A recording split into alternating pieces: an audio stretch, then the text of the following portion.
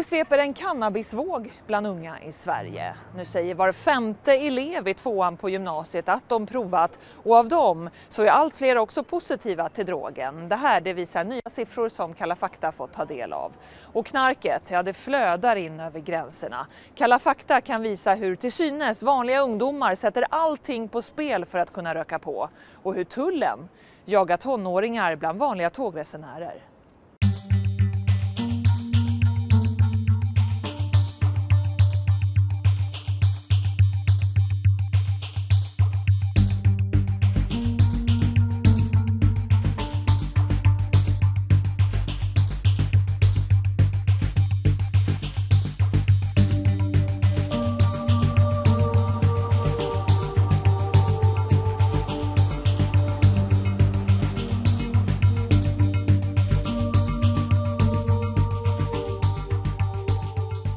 Ska cannabis vara en drog som jämställs med tobak och alkohol?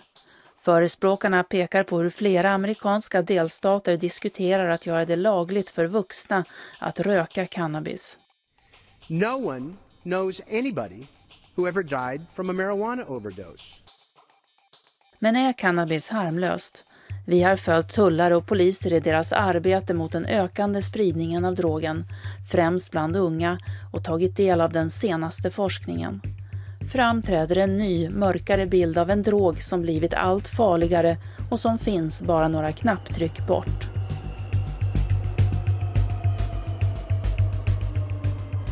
Vi är i Malmö. Härifrån går det 75 tåg till Danmark varje dygn.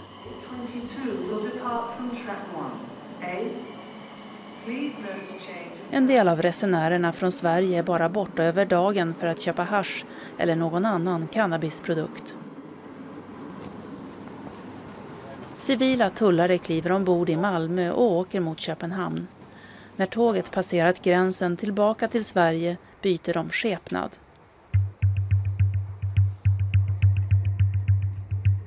Smugglingen kallas myrtrafiken, en till synes oändlig ström av enskilda smugglare som för in cannabis i olika former för egen användning eller för att sälja till andra. Det är mycket vad vi får kalla ungdomar som smugglar, men inte bara naturligtvis utan det är även Eh, såklart eh, grov organiserad brottslighet som, som anlitar kurirer för att smuggla större partier också. Och det är inte så att det bara på tågen är småbeslag, det är även rätt så stora och grova brott som avslöjas där.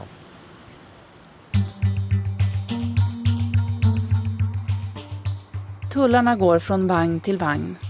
En sökhund markerar där det luktar narkotika. Smugglare som reser i grupp varnar varandra.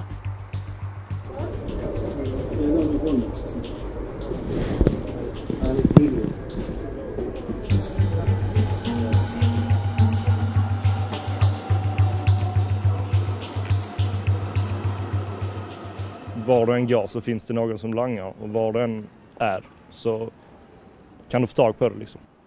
Vi träffar några ungdomar i Malmö som går andra året i gymnasiet. Det är inte svårt, speciellt inte i Malmö. Sen, det är jättenära till Danmark också. Där finns det ju ställen där det är lagligt till och med att vara och röka. Och då är det väldigt lätt. Uh, har du sett kompisar eller folk du känner som har drabbats av att de inte har klarat av skolan för att de har rökt för mycket? Uh, alltså, jag har vissa, uh, vissa personer som jag har som gått i min klass innan som tar cannabis nu. Fast ingen som jag är nära just nu tar cannabis. Fast jag vet ändå hur det går för dem och jag kan säga att det inte går så bra faktiskt. Jag kände inte att jag kunde bara hålla mig till att eh, röka ibland och sen göra, mellan det göra de grejerna jag behövde göra. Utan det blev ganska antingen eller. 27-åriga Nathalie bor i Lund. Hon har under tre års tid bearbetat svåra problem hon fått av sitt cannabismissbruk. Nathalie var bara 13 år när hon började med drogen, en inte så ovanlig debutålder jag saknade något. Och sen tror jag mycket grundar sig i att jag eh, inte tyckte jag kunde vara lika bra som folk i min närhet. Och då sökte jag mig till personer som inte krävde lika mycket. Så kanske man börjar röka cigaretter, sen så börjar man dricka och sen så kommer man i kontakt med droger och, eh, Och då blev det lite som en så här, ja men det här, när man väl testat, det här var ju inte negativt.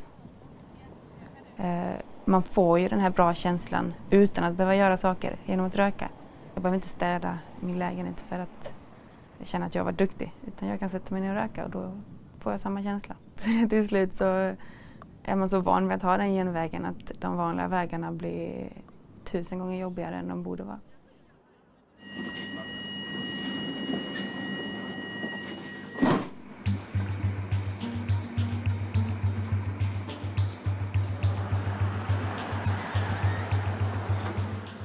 Området Christiania i Köpenhamn är en öppen marknad för cannabis.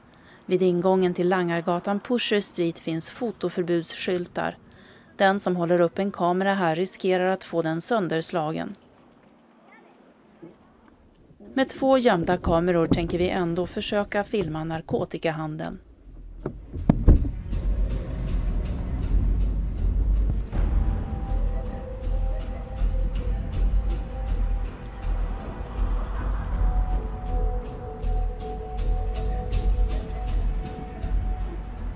Trots att det är olagligt säljs narkotika helt öppet.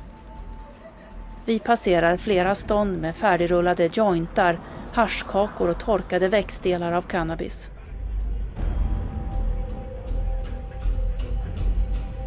Utanför kaféer röker besökare hasch och dricker kaffe. Vi ser flera svenska ungdomar, bland dem fyra flickor i gymnasieålder som kommer in på den nedgångna gatan Pusher Street. De diskuterar vilket stånd de ska gå till.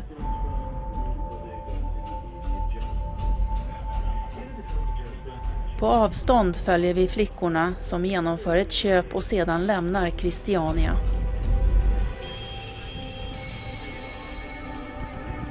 Ja, vad ska vi tycka om det? Vi som alla andra medborgare är ju oroade över att det sprider sig och att det blir någon slags acceptans och att det är mycket ungdomsdominerat. Pratas det mycket om cannabis i din ålder? Ja då, men eh, väldigt alltså det har väl utökat nu det, de senaste åren kan jag tycka. Så eh, det blir väl vanligare och vanligare göra det.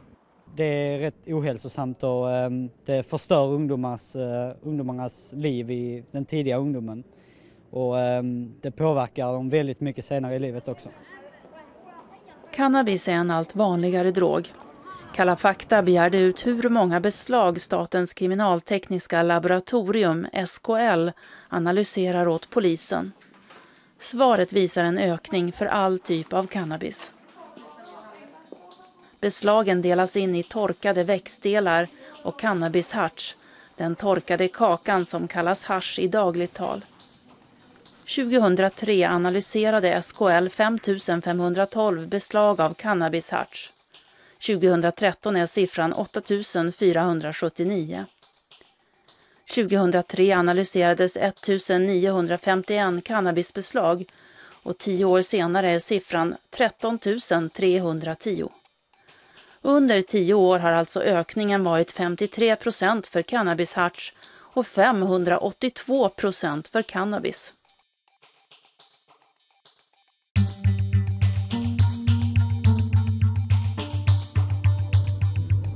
Efter pausen följer vi polisens försök att stoppa ungas missbruk en vanlig torsdagkväll. Men vi, vi, vi är om ett par minuter bara.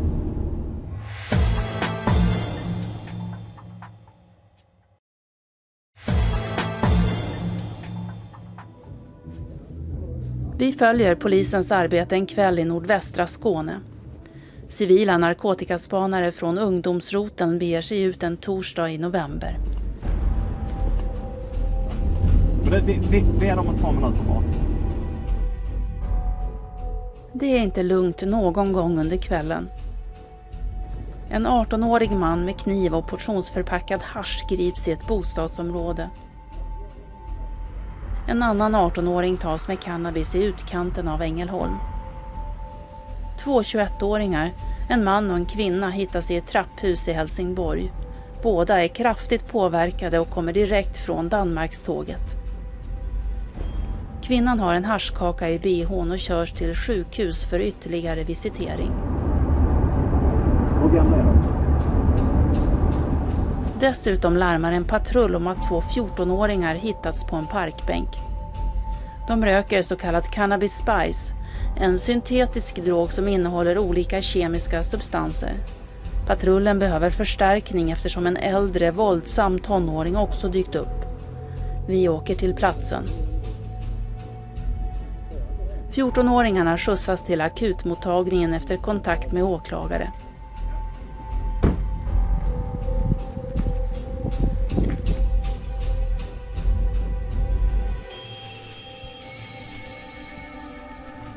Kvällens narkotikabeslag ska nu förpackas och skickas till SKL för analys.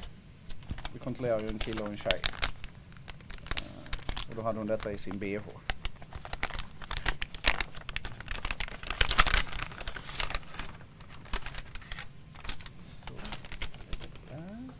Detta är då en halv kaka eh, pressad cannabisharts. Där går en, en eh, liberaliseringsvåg eh, egentligen över hela Sverige och även över världen. Där man anser i ungdomskretsar att, eh, att röka en bit hasch det, det är inte värre än att ta en öl. Eh, så vi ser att det kryper ner i åldrarna. Det blir vanligare och vanligare och vi ser det kopplat till våra beslag och även då de här antalet urinprov som vi genomför på yngre personer att cannabismissbruket ökar. Det är med andra ord ingen slump att fyra tonåringar och två 21-åringar hittas kraftigt påverkade och med narkotika i fickan. När Kalla fakta bad Rättsmedicinalverket ta fram uppgifter på hur många urin och blodprov som innehåller cannabis syns också en mycket tydlig ökning. Under tio år, från 2003 till 2013, har antalet positiva cannabisprov nästan trefaldigats. Proven tas efter polisens misstanke om narkotikabrott. Fler åker alltså fast samtidigt som dagens cannabis är mycket starkare än för bara tio år sedan. SKL har i sina analyser sett en dramatisk ökning av ingrediensen THC i cannabis. THC är ämnet som ger ruset, förändrad verklighetsuppfattning och påverkar en rad funktioner i hjärnan. Medelhalten av THC har på tio år gått från 5,32 i cannabis till 7,76 och från 7,96 till 15,66 i cannabisharts. Ökningen av THC-halten är ett resultat av odlarnas medvetna växtförädling, bland annat i syfte att göra drogen mer beroendeframkallande. Fred Nyberg är professor i biologisk beroendeforskning vid Uppsala universitet och han anser att det nu är bevisat att cannabisrökning sänker tonåringars intelligens. Vi träffar Fred Nyberg i samband med Socialdepartementets vetenskapliga konferens om cannabis. Jag skulle vilja säga att det påverkar centrum i hjärnan som är kopplade till eh, kognition, det vill säga minne och inlärning. Det kopplar också till centrum i hjärnan som är kopplade till koordination och motorik och försämrar den. Och det kopplar också till det som har att göra med stämningsläget. Man kan lätt bli deprimerad. Man kan till och med få psykoser, det är ju också känt. Vi har ju haft en av de mest eh, eh gedigna och genomgripande studierna som tydligt visar att eh, cannabis i sig själv, vill säga THC-substansen har en IQ-sänkande effekt. Drygt tusen personer följdes i studien som gjordes i Dunedin i Nya Zeeland. Studien pågick i 35 år. Forskarna började följa deltagarna när de var 3-4 år gamla. Deras intelligens mättes regelbundet från 13 års ålder. Studien publicerades 2012 i den vetenskapliga tidskriften PNAS Proceedings of the National Academy of Sciences och pekar på sambandet mellan cannabisrökning i unga år och sänkning av IQ. Och det kanske inte är att undra över eftersom vi vet att hjärnan är som mest sårbar under de tidiga tonåren och upp faktiskt mot 25-årsåldern.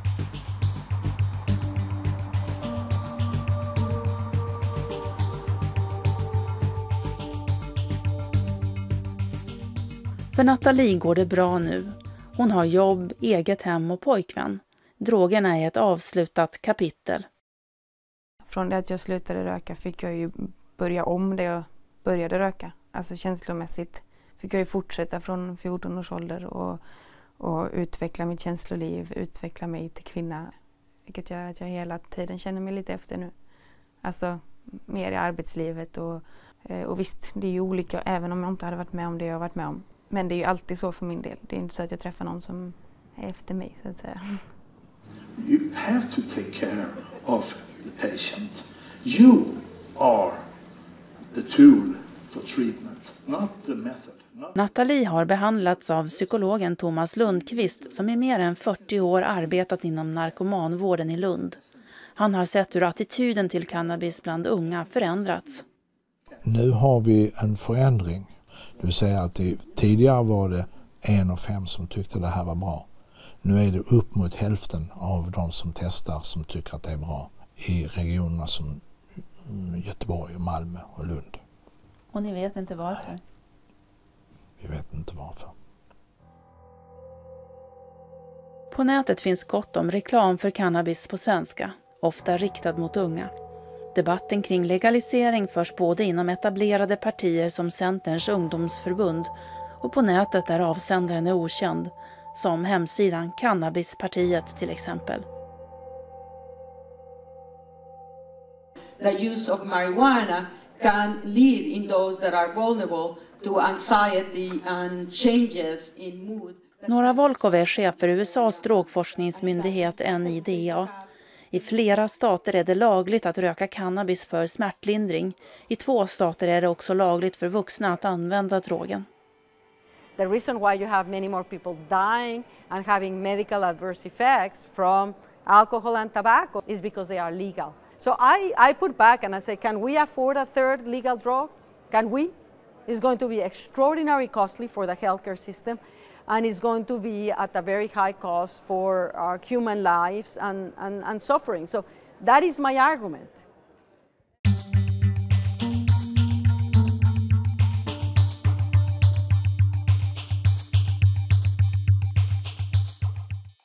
Tullens sökhundar markerar för narkotika vid varje tur vi tar med tåget över Öresund.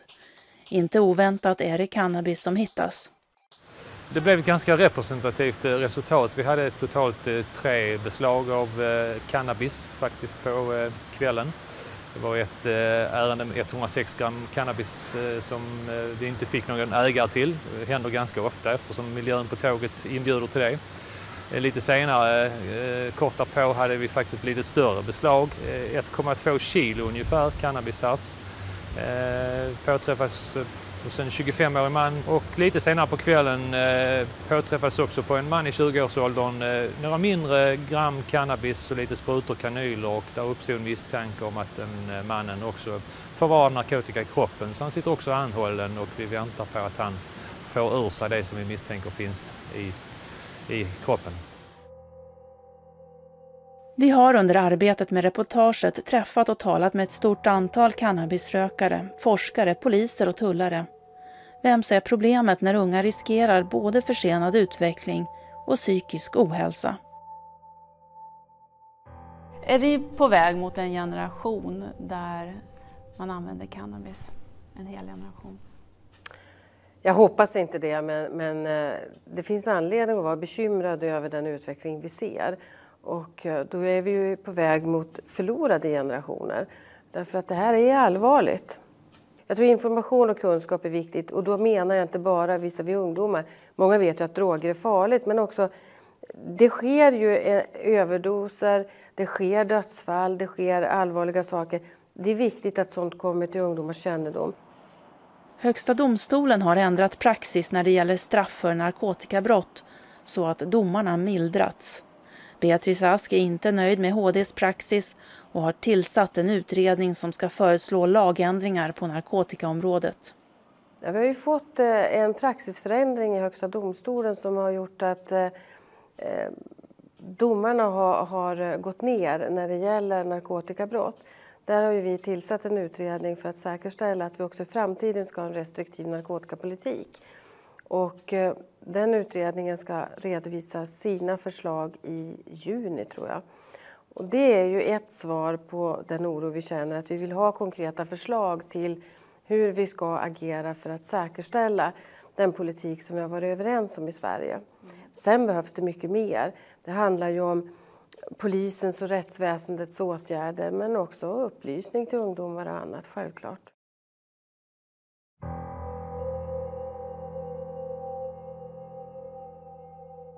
För polisen fortsätter den ibland tröstlösa jakten på narkotika.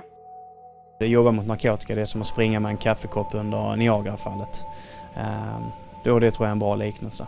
Är det värt det ändå? Absolut. Ehm, de här eh, ungdomarna framförallt som vi, vi lyckas vända om och, och få in på, på rätt bana. Det är ju all belöning vi behöver. Ehm, det är det viktigaste för oss.